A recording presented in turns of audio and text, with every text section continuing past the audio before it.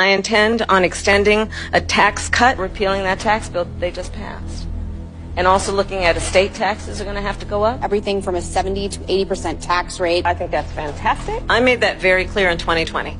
I will not ban fracking. There's no question I'm in favor of banning fracking. She was big on defund the police. For too long, the status quo thinking has been you get more safety by putting more cops on the street. Well, that's wrong. She was the border czar. She doesn't want to be called the border czar because she's embarrassed by the border. I am in favor of saying that we're not going to treat people who are undocumented across the border as criminals. That's correct. Abolish ICE.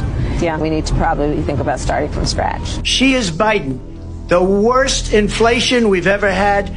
A horrible economy because inflation has made it so bad. Bidenomics is working. It's working. And then this business about taking everyone's guns away. Tim Walz and I are both gun owners. We're not taking anybody's guns away, so stop with the continuous lying about this stuff. We have to have a buyback program, and I support a mandatory buyback program. My agenda includes attempting to get Congress to act, but if they don't within the first 100 days of my administration, I'm going to take executive action. Well, first of all, I absolutely support, and over the last four years as vice president, private health care options. I believe it will totally eliminate private insurance. Let's eliminate all of that. Let's move on.